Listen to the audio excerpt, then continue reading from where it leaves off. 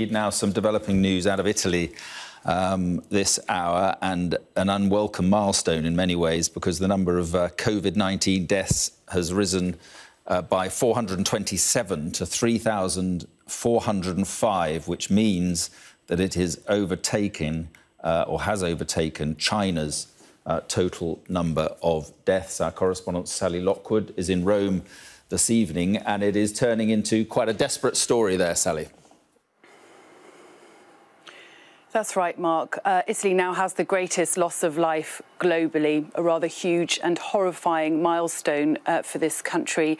And it's made particularly more grim because Italy still has far fewer cases of COVID 19, of coronavirus, uh, than China.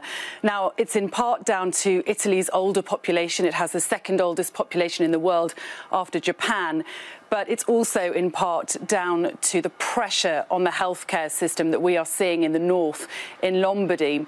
To give you an idea of the pressure and how bad things are up there, the military was called in overnight uh, to help transport some of the bodies because the infrastructure there is simply not coping. Uh, the mayor of Bergamo, who spoke to me a few days ago, explained he'd had to close the cemetery uh, because they can no longer cope with the hundreds dying there every day. The church in the cemetery had been turned into a temporary morgue, uh, and soldiers were called in uh, overnight to transport some of the coffins away in, in army vehicles. Uh, now, Lombardy uh, has one of the most sophistic sophisticated healthcare systems in Europe, but they are now lacking just the basics. They are lacking staff, ventilators, oxygen, beds. Uh, 8% of the people who have been infected with coronavirus in Italy are medical staff.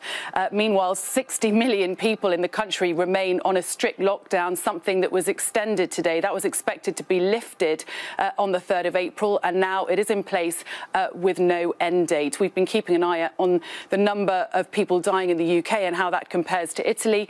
Uh, it is following a very similar pattern, uh, there's no guarantee that it's going to escalate in the same way here, uh, but we simply don't know. Nevertheless, the UK and other European countries are following a strikingly similar path.